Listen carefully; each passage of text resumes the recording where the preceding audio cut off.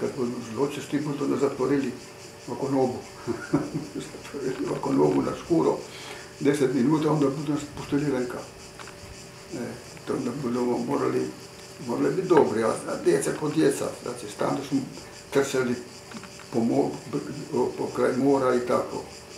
Jer smo volili to more i te, te ribe, onda je bilo puno tih ribica pa se to lovilo i sve. I onda kada bude mama zvala nekada doma, onda je bilo teško doći doma. Onda budemo dobili batine.